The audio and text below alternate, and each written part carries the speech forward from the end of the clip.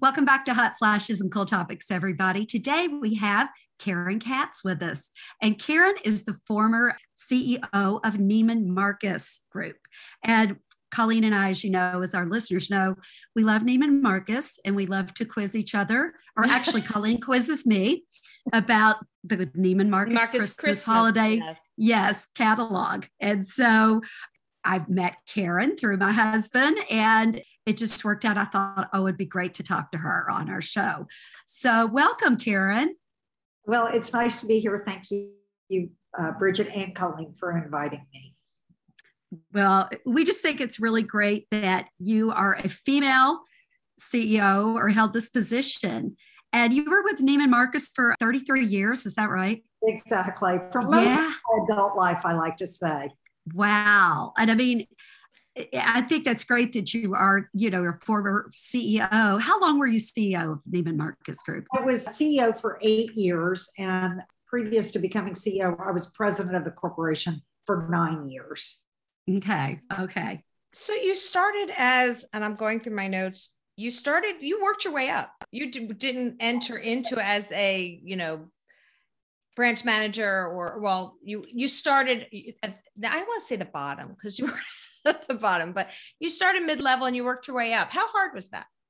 Yeah I, so i had been a buyer at a department store. I live in dallas now but i had been a buyer at a department store in houston and then i decided moved to Neiman Marcus as an assistant store manager. And frankly, I've said this to people my entire career and my life like if you had met me in high school, I was the least expected person to become the CEO of anything because that just wasn't my path. But you know, I kind of found that as I accomplished one position, I thought, well, maybe I could do the next position. And kind of one thing led to another. And, you know, all of a sudden I, you know, looked behind me and I had come quite a long way in my career. And, you know, I'm proud of that. But I'm probably prouder of the fact that I, think it gives a path for women who don't necessarily ever dream about becoming a CEO that it really is possible if you work hard and you surround yourself with good people and those kinds of things.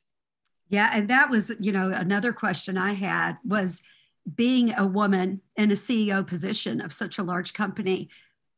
Were you around a lot of other women in a similar position? Did you run into that a lot? Yeah, I will say that the retailing industry, the industry itself was kinder to women, if you will, than a lot of other industries. And I think that was, you know, part of being in the fashion luxury industry. And so there were a few women that had been CEOs of other, you know, pretty large retailers before me. I was actually, strangely enough, the second woman to lead Neiman Marcus because the company was founded by a woman and her brother in 1907. So Carrie Marcus Neiman, she was really kind of the first president of the company. So when I came along, I have to give great respect to her because even though most people thought I was the first female CEO, there really was somebody before me. There were some good role models, and I hope I was a good role model to other women. So you started in 1985 as a merchandise manager and right. you worked your way up. There have been a lot of changes, not just in fashion, but for women in the corporate world and also for online. And I know you played a big role in Neiman Marcus in bringing the brick and mortar to an online presence. How was that transition?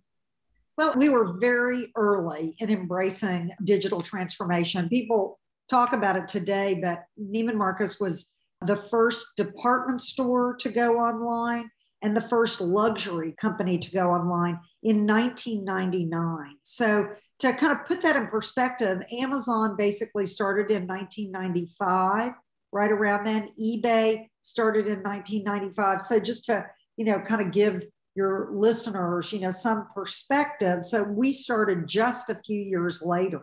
So, it was very, very early. The good news for us was we had a big catalog business. So people of a certain age remember that Neiman Marcus used to send out lots and lots of catalogs. And so we had that base. We knew how to fulfill product, the merchandise that you wanted to buy. It's the same as when you fulfill it from a catalog. We had agents that you called, you know, 1 800, whatever, Neiman Marcus to place orders. So all of that back of the house, that was easy for us because that was already in place. The hard part was really shifting to online and getting the customers to understand that it was safe to buy online. But even harder than our customers were the luxury vendors that we did business with. And so, you know, you think about, I don't know, any of the luxury folks, Chanel, Louis Vuitton, Prada, Gucci, any of them, there was real resistance to starting a business online because the Europeans at the time were very far behind the US when it came to online shopping. Oh my God. You know, I didn't even think about that. And I can remember when you started talking about the 1 800, I'm like, that's right. That's how we had to do it. you yeah. know, call to place an order or even fill out the little thing inside, you know, the little order form, Oh. stick it in the mail. Oh my goodness. That's I right. Yeah. With a check. With a check. So. With a right. check. That's right. oh my goodness. Were you responsible for kind of convincing them to give online a try, or was it just kind of trial and error? No, I spent I, mean, so I spent my first few years when I became president of what we called at the time Neiman Marcus Direct, because it was still a catalog business. And then we moved to doing NeimanMarcus.com. I spent so much time in Europe with our European partners I used to say groveling. I mean, my knees, you know, had just terrible sores on much begging them to join us.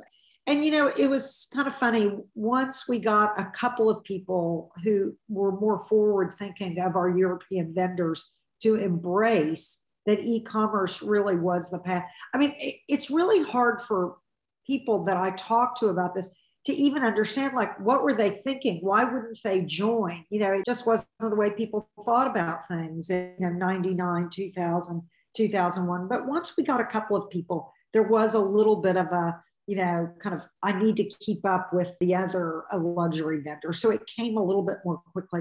It was really hard work though those first few years yeah I, I mean i can understand that i guess you know when something is new you're just scared about it and you're exactly. nervous. Yes.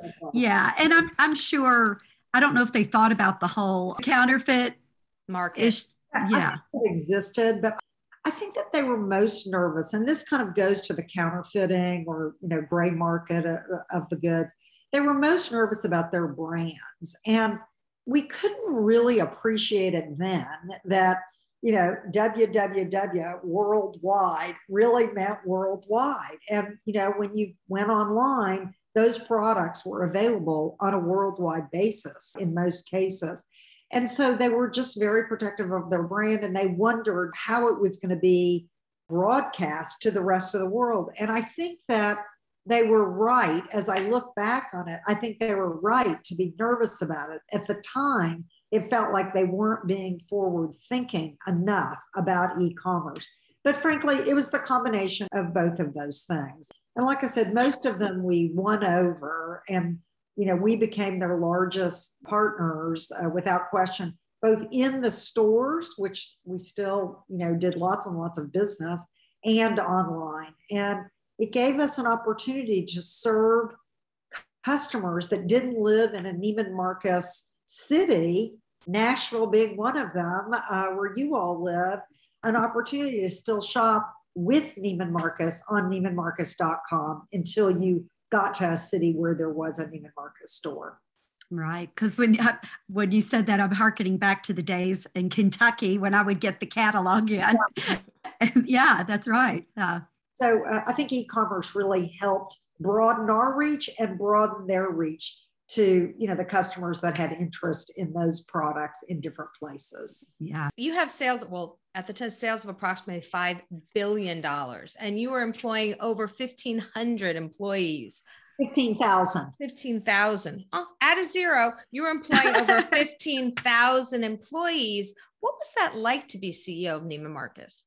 Well, I mean, it was an amazing job. Let me say that, you know, and I, I had to at any given time during my eight years as CEO, I had to kind of pinch myself because again, you know, I wasn't one of those people that, you know, that was my whole lifelong dream, but but there I was. And I could never let go of that wonderment that I had achieved that kind of role. But I loved the role. And I think what I loved best about it was that I loved being around our customers. And we had, you know, a very interesting and and and Neiman Marcus still does, you know, the most affluent consumers in the world shop at Neiman Marcus. And they were all very interesting people from interesting places. And they all had interesting stories about how they had achieved whatever they had achieved. So I loved being around our customers. Having come up in the company over 33 years, I didn't, of course, didn't know all 15,000 employees, but I knew a lot of the employees.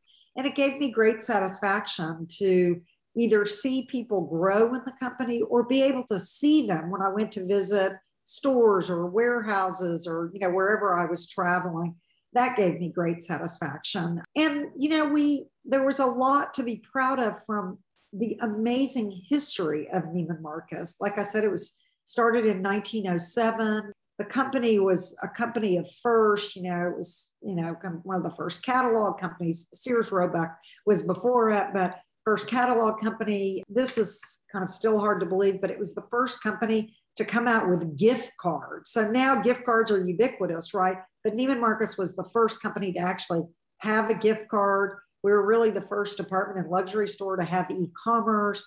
We were the first store to have a loyalty program. In Circle was was born in 1983, I believe. So there were a lot of first of the company. And it was really a wonderful place to work. And, you know, a lot of the people that I worked with, we all kind of grew up at the company together because, you know, we found our place. We loved working there. It was hard work, but it was very satisfying work. And if you're going to retail, why not sell the best there is to sell? I mean, really, I mean, it sounds like it was a good company for people to stay there yes. that amount of time that exactly. if you grew up with so many people there then they must have really treated their employees well. Exactly. And, yeah. And and another thing i remember when i met you talking about different fashion shows and places you had to go and we asked you if you missed them. And do you remember what you told us? I don't. Maybe yes. Yeah. Yeah. Then yeah which I, I you know sometimes it's like, ooh, that looks so really, that looks so cool to go to. That looks like that'd be great to go to. But I imagine you had to go to quite a few of those. Yeah. I mean, I, I, I have to say that I did go to a lot of fashion shows in my career. And I mean, part of it, I was in the business not because I loved fashion, I love the business of fashion. And there is a difference. I love that the business of fashion is very fast paced you have to make a lot of bets on what you think the consumer is going to want months and months in advance because you're buying inventory way, way in advance. And you're buying not inexpensive inventory, you know, it's expensive inventory. And so I love the thrill of that. And so when we went to a fashion show, and whether it was a, you know, brand new designer or somebody who'd been around a long time, if there was just extraordinary you know, merchandise, uh, dresses, bags, whatever, coming down a runway. That just got us so excited. Talk about a hot flash. That was. oh my goodness. Uh, you know, that would just get us really, really excited. The industry lost one of its brightest talents. Virgil Abloh uh, passed away at a very young age. And he was really on the cutting edge of fashion as a young African American designer. And I can remember being at his very first show and we just knew that he was going to be a star and and it's it's really so saddens me and it's tragic that somebody lost their life so young to such a terrible uh, disease as uh, uh, some sort of cardiac cancer cancer right yes. Mm-hmm. But I will say that seeing people like that at the very beginnings of their career, you know, there was nothing better, frankly. That's what made it exciting going to the shows. When you were at the shows, how did you know when someone had it? Like you were just saying, he was a young designer, his first show, and you just knew he had something. How did you recognize that? What spoke to you that said this designer is going to be big? Yeah, you know, it's funny because I do think that like any business, you, you know, develop kind of a, a second sense of things. And I think at the time, even though he didn't like this term, there was this kind of emerging part of fashion called streetwear, which rather than, you know, kind of the designers on high, you know, giving us what the trends were going to be, there was this, you know, emergence of what people were wearing on the streets that was moving upwards. And it was clear that he kind of was embracing these two worlds. And and so there was just something unique about it. And I think that with a lot of these designers, especially the new ones who come on the scene, it's just kind of in that moment where they, you know, did they have, did they have that kind of listening skill, if you will, of what was going on in the world and the way women were starting to adjust and think about how they wanted to dress and present themselves. And so it was partly just training over the years, but there was also, you know, just kind of a second sense of things. And today, even though I'm not around, you know, the fashion industry nearly as much as I was, obviously, I can still go through the fashion shows and, you know, I can pick out what I think is like just unbelievable. And then I have to ask people who are still in it, well, what did you think of this? You know, most of the time I'm generally in the in the right uh, in the right ballpark. Wow. I think that's a great skill. I wish I had developed that skill. I, I, bet I bet it is something that just happens over time yeah, when you're. If you're around it, you know, it's like anything else. You know, you just, you know, you're around people who talk about it, think about it, philosophize about it, you know, and I, I think some of it, some of it definitely can be learned. There's other parts of it you just can't learn and you have to kind of know. And that's not something that I necessarily am, but I think that I, I learned a lot and picked up a lot of kind of what was important along the way. So, what advice would you give to other women that are trying to get to the position where you were? Like, yeah, I mean, you've said, you know, it's a lot of hard work, of course. I mean, it doesn't sound, or I don't know, you know, I wasn't there the whole 30 years, but that you had to really did you have to break any ceilings or anything like that? Well i mean i think that there was plenty of that. You know sometimes okay. you you kind of don't even realize you know that you're you know breaking a glass ceiling because you're in that moment and you're you're just thinking about okay this you know this is how it has to play out if i'm going to uh, advance myself in an organization. I think it's only with hindsight that I can appreciate that. I mean, of course, there were dozens and dozens of times when I was the only woman in the room, whether it was with the brand partners that we did business with in Europe that were, you know, early on pretty much dominated by French and Italian men, or you know, the private equity firms that owned Neiman Marcus along the way is predominantly men. The people around the table in our conference room, our executive leadership team, when I first became a senior vice president, predominantly men. I mean, that changed over time, but I was definitely a catalyst in that. And so I think that I only recognize that I probably did break some sort of glass along the way in hindsight and not while I was living it every day. There, I did find when I retired, I was going through all my files, and I did find this note I had sent to HR when I was first a vice president I can't even believe I did this, to be honest with you. I sent a note to the VP of eh, Human Resources outlining why I thought I should get a raise.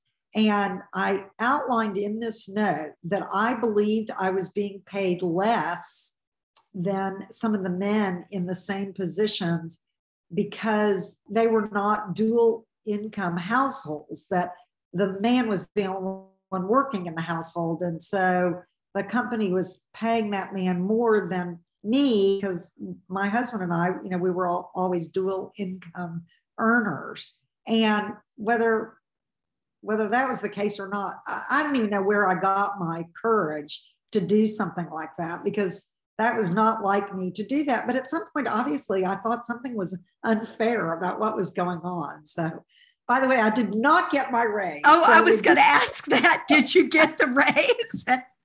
oh my! But I think that was probably a valid feeling that you felt because exactly. I mean, exactly. yeah. So, mm-hmm. but but at the end of the day, what I don't know what's the story about the tortoise and the hare. You know, I yes, tortoise. I may have been moving slower, but I ended up, you know, yes, winning the race. Yeah, yeah. wow. So what Bridget had started our conversation off was mentioning that we every year like to go through the Neiman Marcus catalog yeah. and pick the extravagant gifts. And I asked Bridget, I'll describe one and I will ask her to guess the price on it. And my question is, how do you pick the extravagant gifts each year for the like what how do you choose them? Yeah, so it is such an interesting tale of kind of these extravagant gifts. They were just a, a, a bit of history. They were started basically in the the end of the 1940s or 19 early 1950s when Stanley Marcus, who was the son of the founder, he was running the company then.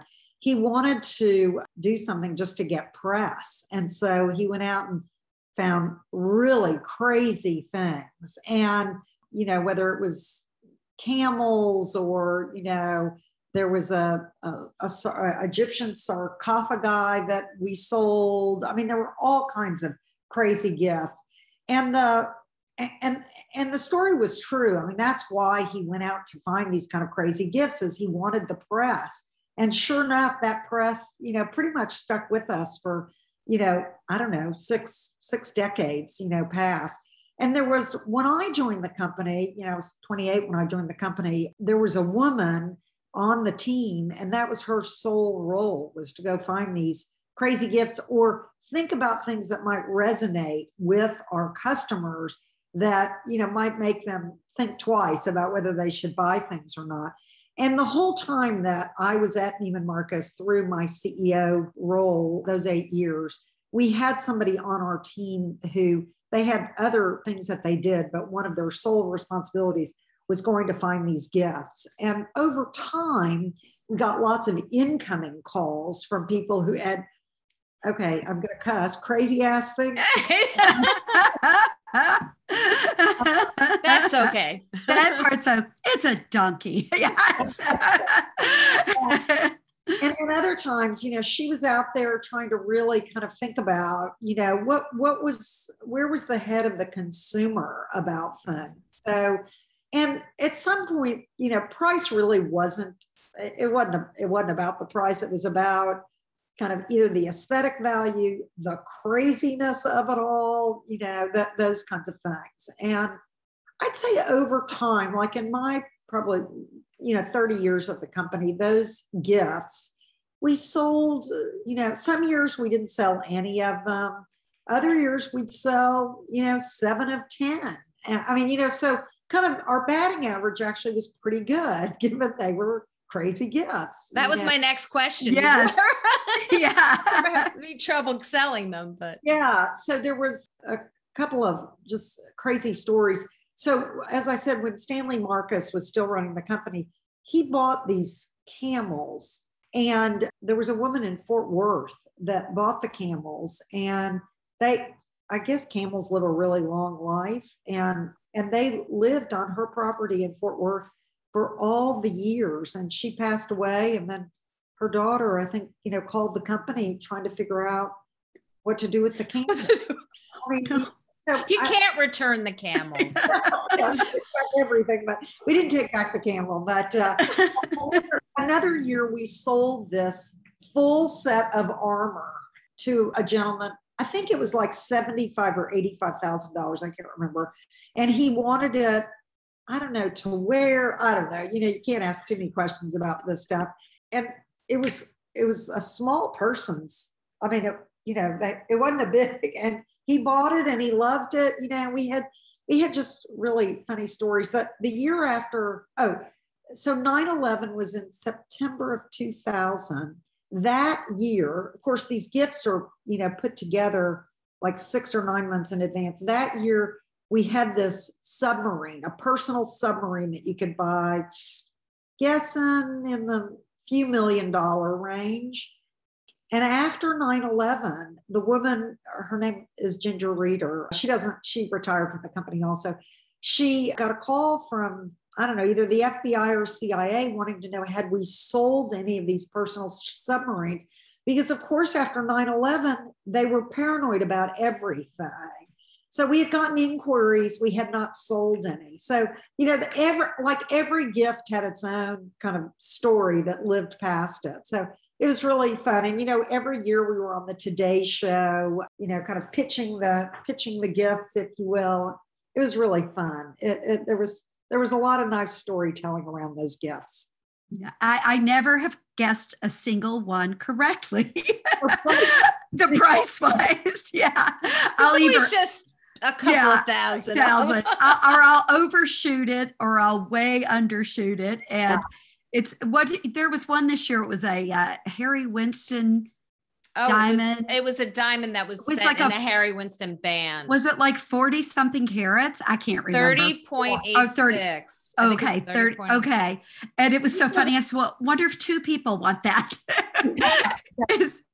interesting about those jewelry pieces because we started doing more of that because there's a lot of interest. I mean, people buy those things just like they buy a really fine piece of art.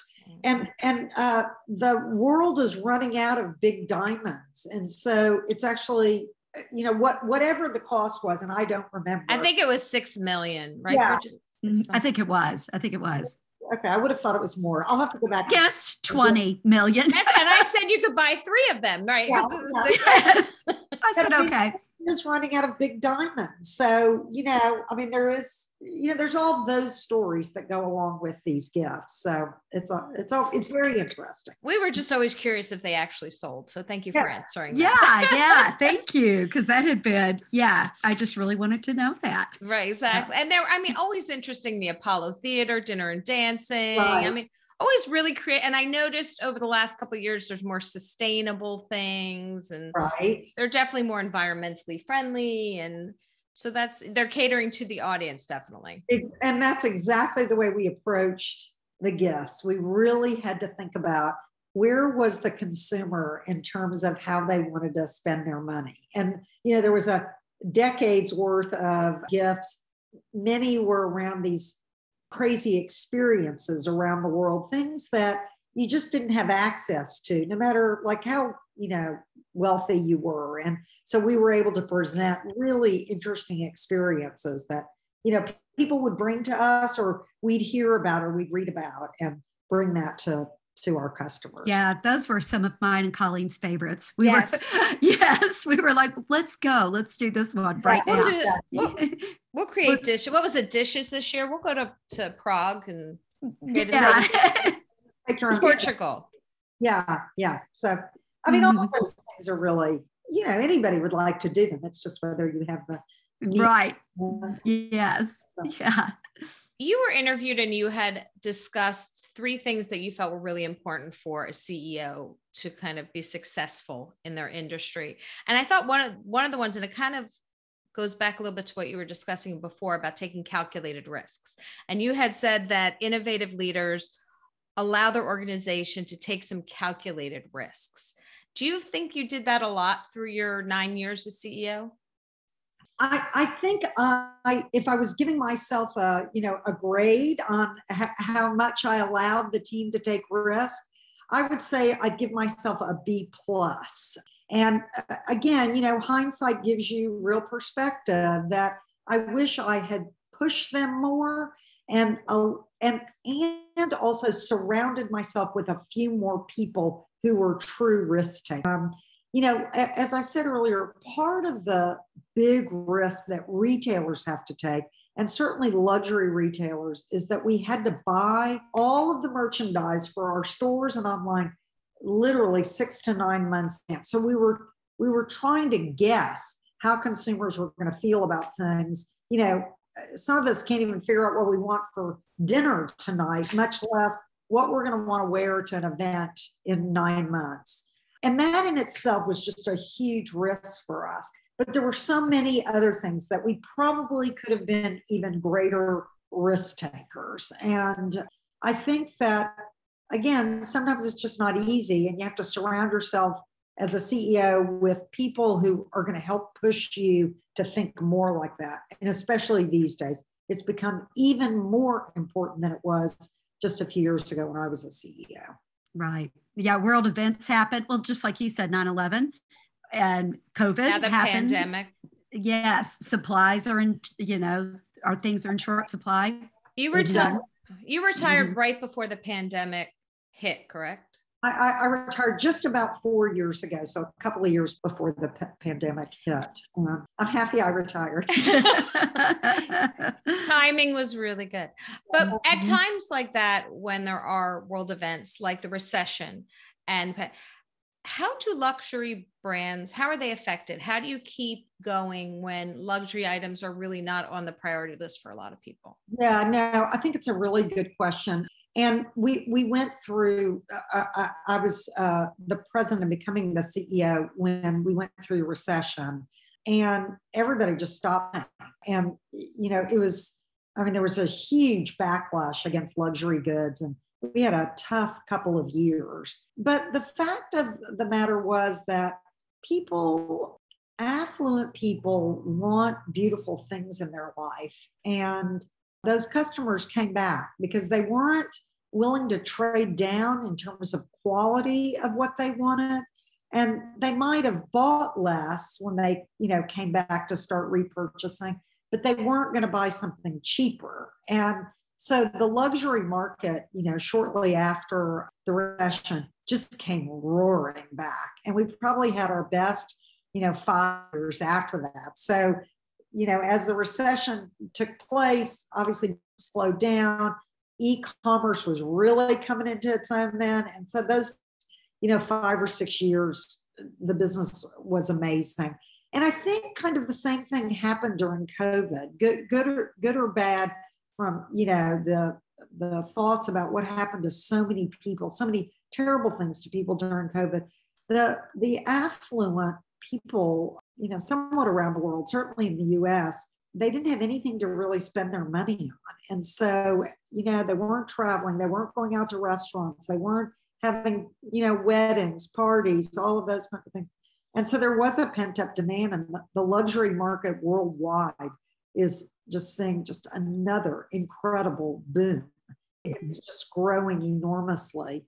And that's a combination of the, the affluent that have been shopping you know luxury for you know many generations and there's also this new customer that's come into buying luxury because they've either made money through the market or they're you know entrepreneurs that have made money or you know whatever it is so the luxury market is is booming uh, once again it, it's amazing too the uh, resale on certain luxury items. So it's it's a huge business. I, am on the board of uh, the Real Real, which is the large. Oh, oh I think you told me that, and I love the Real Real. I love the Real Real, but I have definitely sold back some items, or I've sold things that I just didn't use for more than I paid for them. Exactly, and I, I have yeah. Uh, there there are uh, consumers who the thought of they they still want the best but they also want to know that they're doing something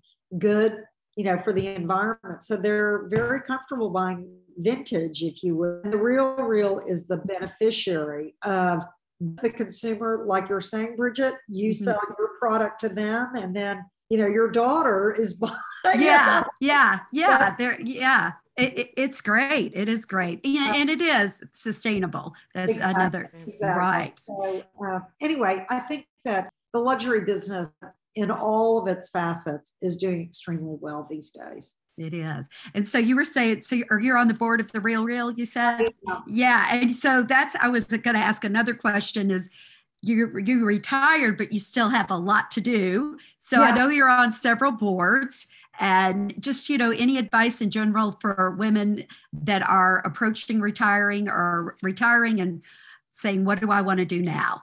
Yeah, no, I think it is such a good question. I, I wish I wish somebody had been more thoughtful with me when I was getting ready to retire. You know, they say when you retire, you have to have a plan and don't retire until you have a plan. And I didn't have a plan. And although I'm good at plans, I didn't have a plan.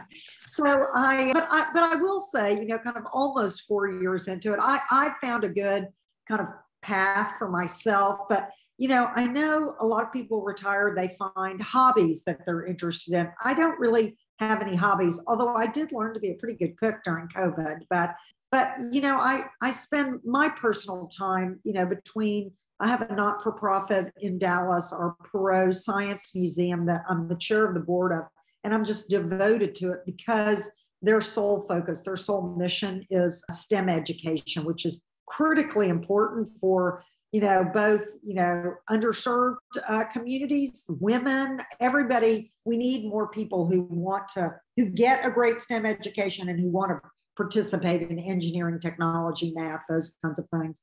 You know i i do think that women of a certain age we need to purge and i have become a champion of purging things in my life because I've recognized after having myself and my husband, our parents pass away over the last number of years, what what a emotional you know battle it was getting through their things. And i'm trying to you know kind of play it forward to my son and you know his his partner so that they don't have to do that you know god forbid when the time comes that uh, and keeping the things that are truly most precious to us. And and it's actually in many ways been really a wonderful uplifting exercise to go through. So i would highly recommend purging. Uh, I, i'm lucky enough i've been able to join some public company boards and i advise some small you know entrepreneurs but uh, i've kind of found my my lane but it's not always easy for women i don't think. I think you know uh, we're not as i don't think as good a networkers as men are. And so you know, I wish I had been a better networker as a younger woman. Mm-hmm. No, I, I could see that though, because we also were have children. A lot of do, not everybody does, but, know, but having, yeah, exactly. Yeah and, and, having that part of our life and then they move away and yeah. so that's really hard. Yes yes. Yeah. Well thank you so much for talking to us today it was so good to see you again because it was really having me. I really appreciate it. I love what you're doing. I just oh thanks. So impressed um, thank you. the people you've had on thank you, you karen